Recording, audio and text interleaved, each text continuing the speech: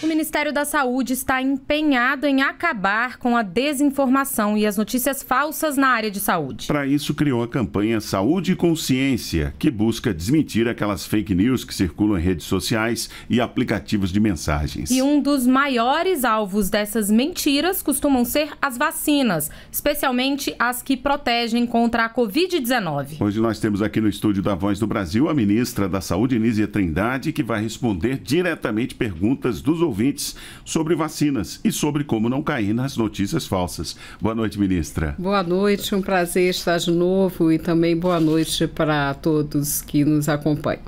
Ministra, a maior parte das dúvidas que nós recebemos foi em relação à vacina contra a Covid-19. Então vamos ouvir a primeira pergunta, que é de um ouvinte aqui do Distrito Federal, a Eliette Cabral. Boa noite, ministra. Meu nome é Eliette Cabral Pereira, eu tenho 47 anos. É, eu tomei, ministra, duas doses é, da vacina de Covid. Eu queria saber da senhora se é essencial eu tomar as outras doses. É essencial que você tome imediatamente uma dose de reforço, viu, Eliette? Porque é, sabemos e está comprovado que é a vacinação que protege para as formas graves e hospitalização. Você já tem, como você falou no plural, você já deveria ter tomado três doses de reforço. Mas a minha recomendação é que você tome imediatamente. Nós temos tido aumento de casos de Covid, o que faz parte é, da dinâmica da doença, mas a vacinação é de fato o meio que nós temos para evitar hospitalizações, casos graves e principalmente as mortes que tanto nos abalaram. Né, um país que chegou a mais de 700 mil mortes. Então, essa é a principal recomendação por favor, você se vacine. É, a vacina bivalente está disponível em todas as unidades de saúde. Ministra, a nossa próxima pergunta é do aposentado Aurélio Dornelles, de Porto Alegre, no Rio Grande do Sul. Ele está preocupado com o aumento dos casos de Covid por lá. Vamos ouvir.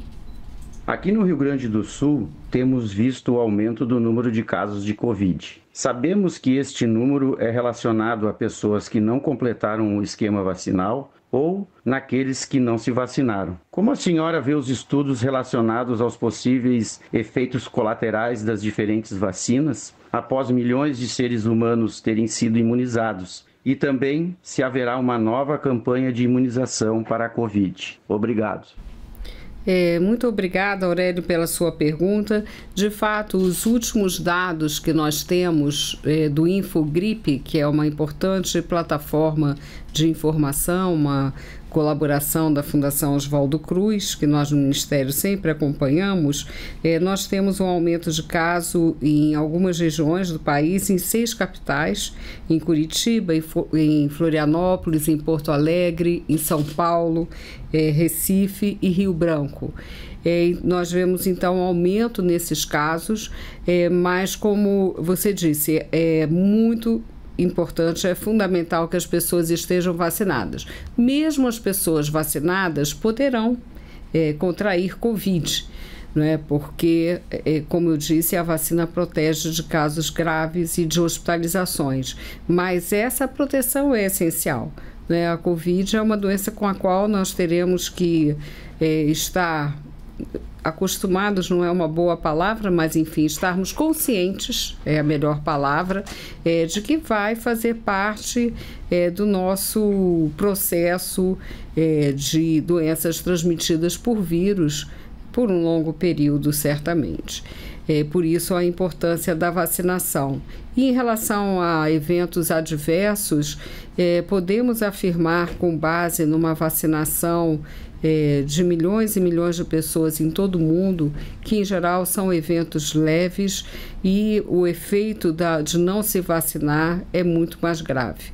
E ainda acompanhamos hoje também os efeitos da Covid longa, como se diz. Portanto, a vacinação é, a melhor, é o melhor meio, o melhor instrumento para essa proteção. Vocês estão pensando numa nova campanha de vacinação, de repente focada lá no Rio Grande do Sul, ministra? Não, é, eu ia responder também essa questão.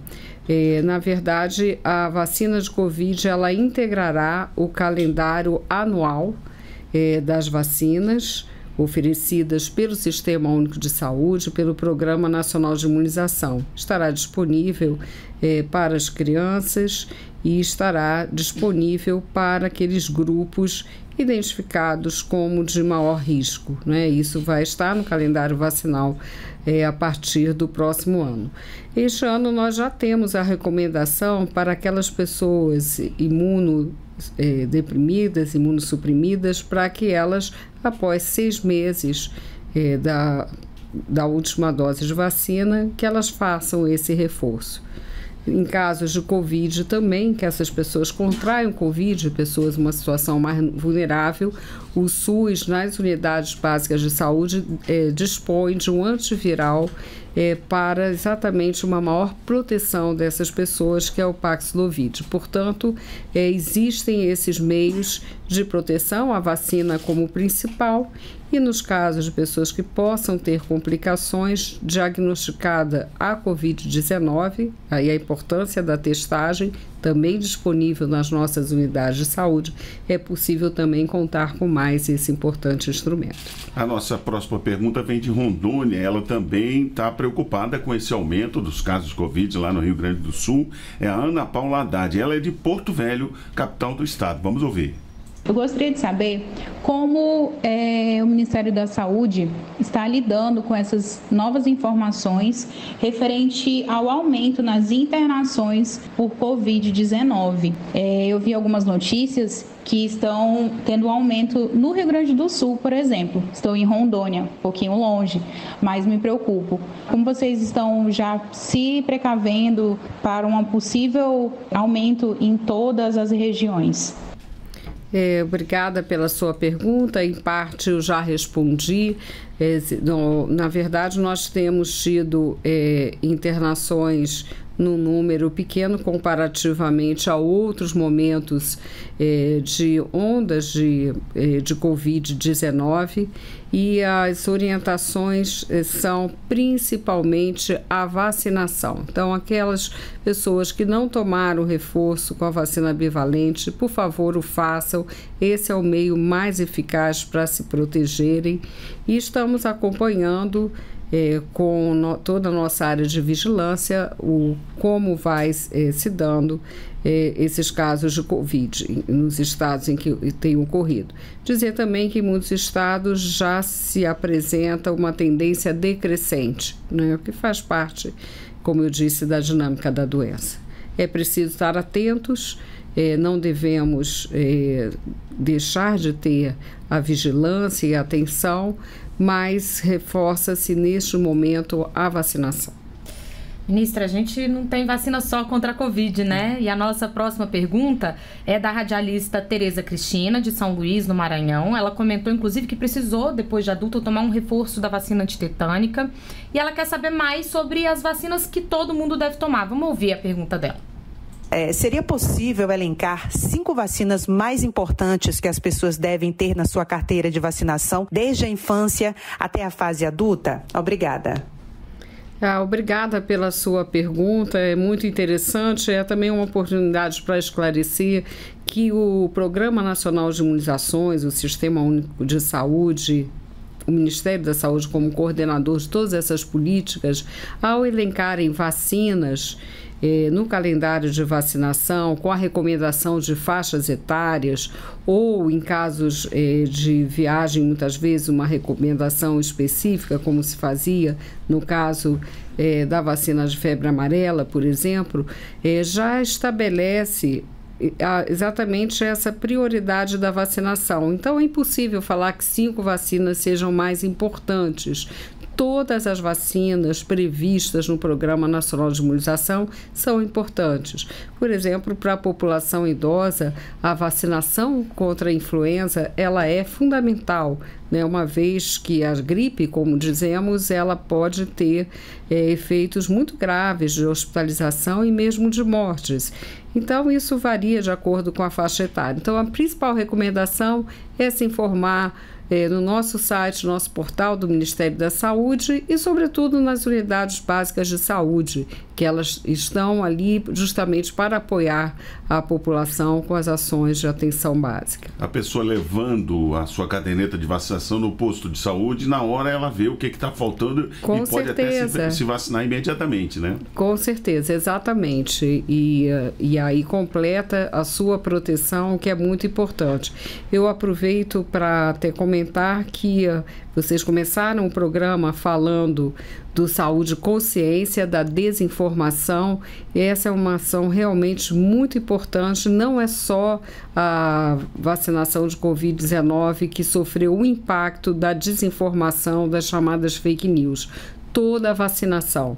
E há uma pesquisa recente mostrando isso é, do Instituto Democracia, principalmente em relação à vacinação de crianças e adolescentes, o que é algo inadmissível, né? Então, precisamos conscientizar sobre a importância das vacinas que fazem parte do Programa Nacional de Imunizações. É, essa, inclusive, ia ser a minha próxima pergunta, ministra. Quais são as fake news que mais comumente circulam, né? As notícias falsas é, é, geralmente sobre vacina, existem outras áreas da saúde que acabam sendo afetadas por essa desinformação também. E queria que a senhora aproveitasse para complementar dizendo onde as pessoas podem tirar dúvidas e buscar informações seguras se receberem alguma coisa no celular, na internet e ficarem em dúvida.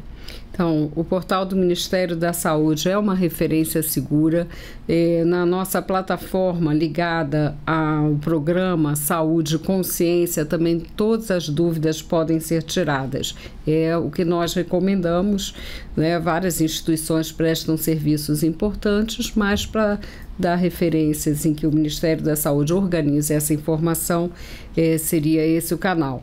É, é muito comum encontrar informações sobre, no caso da vacina Covid, vemos com maior intensidade que a vacina ela altera o DNA, que as vacinas são experimentais. Todos nós já ouvimos isso, né? Eu ouço isso ainda hoje. Mas a vacina é experimental, a população vai servir de cobaia e se puder dar um problema mais à frente. E essa informação é absolutamente falsa. As vacinas passaram por testes de segurança, de eficácia e é, não há nenhuma base para esse tipo de afirmação. E, na verdade, elas puderam ser desenvolvidas mais rápido porque havia, estu havia estudos há 20 anos com outros vírus é, de, de uma família, para deixar mais simples a explicação, próxima do Covid-19. Então, é muito importante é, que as pessoas se informem nos canais adequados. O impacto disso foi tão grande que o Instituto de Democracia mostrou uma afirmação para os entrevistados dizendo que ah, vacinas fazem mais mal do que bem às crianças e 19% das pessoas disseram que era verdadeira essa afirmação. Então, por aí nós vemos que não é só a vacinação de Covid, que é essencial, né? É essencial, precisamos todos estarem protegidos. As crianças precisam estar protegidas frente ao mal que pode causar a Covid-19, mas isso impacta todas as vacinas: sarampo, pólio, sem exceção que faz mal para as crianças é pegar uma doença que pode exatamente. deixar elas com sequelas para o resto da vida, né? Exatamente, exatamente. Criança, eu vi o início da vacinação de pólio e também convivi com muitos colegas com sequelas por terem contraído a doença. Então, vacina é, como diz a Organização Mundial de Saúde, e água tratada são os grandes meios que a humanidade tem para reduzir a mortalidade infantil, aumentar a expectativa de vida e melhorar as condições de vida. Muito bem, nós conversamos com a ministra da Saúde, Nízia Trindade. Muito obrigado por sua entrevista aqui à Voz do Brasil, ministra. Muito obrigada a vocês e a todos que fizeram as perguntas e que nos acompanham.